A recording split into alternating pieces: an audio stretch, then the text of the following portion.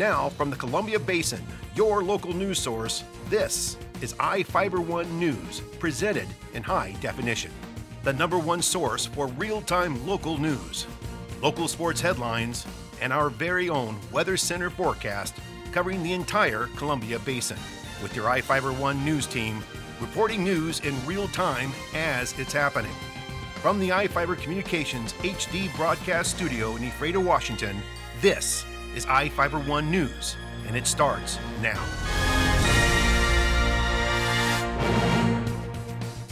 Welcome to iFiber oh One News. I'm Alan Troop with your weekend edition. We will review some of the top stories for this week and a few of your favorites. And we have the latest weather forecast for the Columbia Basin from the iFiber oh One Weather Center. One of our top stories this week was about a former Royal City wrestler and his band's recent Latin Grammy nominations. Here with the story is Jeff Chu. Dicen que soy el rey de reyes, que tiene lujos y placeres, que tiene todo lo que quieres, fama, fortuna. Royal City's own Jose Barajas is a bass and guitar player with Los Canarios de Michoacan, a Pasco based band recently nominated for two Latin Grammy Awards. The band last month traveled to Las Vegas, where all the international stars of the Latin music industry converged for the Latin Grammys ceremony.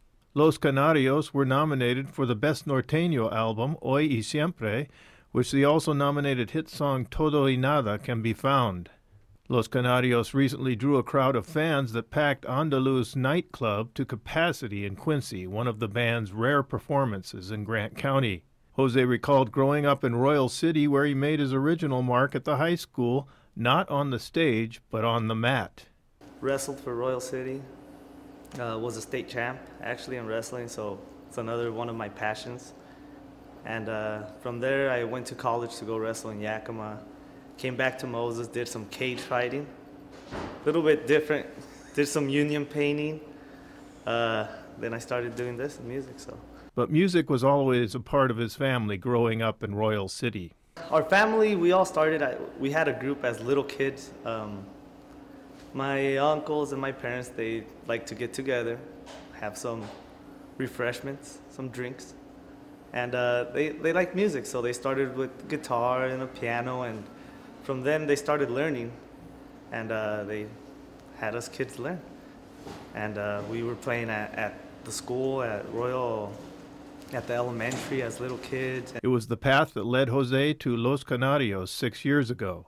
They called my cousin that used to be in the band, and he went to go try out for uh, to be the the lead vocalist. And he told them, "Hey, well, I have a cousin that plays the bass." He said it was a thrill of a lifetime for the band to be nominated for two Grammys. It was exciting, very, very exciting, and still, it didn't hit us till we were actually there in Vegas at, at the Latin Grammys. Like, I didn't, I was like, okay, this is awesome. Once I got there and I saw how much of a, it was, it's a big deal being there. Only the top, top people are there, top musicians, top composers. So it was an awesome experience. Well, he always calls Grant County home with his wife, children, and the rest of the Barajas family living here. Los Canarios are going places. We tour all over the United States, and uh, we've taken two years of not going to Mexico, but I think this coming year we're gonna start going back there and touring, so going international, and we have future plans to go to Chile, to go to Honduras, Paraguay. I'm Jeff Chu for iFiber One News. Thank you, Jeff. Every day, police officers, deputies, and state troopers are on the streets protecting us from drunk drivers. They received some recognition from the Central Basin Traffic Safety Task Force during their Night of a Thousand Stars. Here's Vivian Huang with the story. It was the Night of a Thousand Stars.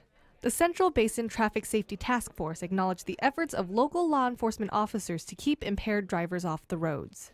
Officers from both Grant and Adams counties were presented awards for making a minimum of 20 DUI arrests between January 1st and November 16th.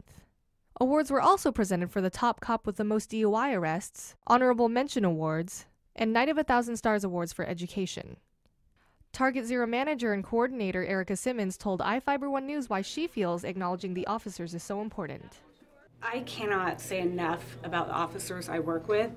Um, their camaraderie together, the, the agencies, they all work together so well. I mean, and we're talking Adams County and Grant County both. It's the way they interact with each other and the way they respect each other is amazing. And for me to just be a small part of it, I just feel honored. Um, so I just. I feel it's very important for the public to understand. So many, so many times people look at cops as the bad guys. They're always out there writing tickets, and they're, you know, and especially children. You know, there's a lot of children that they see an officer come to arrest a parent or it's a bad circumstance. And so I think we need to remind the community that they're doing a very dangerous job and they're doing us a huge service and they don't get thanked enough. And so I want to make sure that they're thanked for the efforts that they that they make. They're saving lives and that's important. For iFiber One News, this is Vivian Huang. Thanks, Vivian. Each of the people you see here has warrants for their arrest and is wanted by various law enforcement agencies. If you see any of these people, the DLC asks that you not attempt to detain or apprehend them, but to call police. You can also call the Department of Corrections at 509-764-6180 during the day or 509-762-1160 after 5 p.m. We will be back after these messages.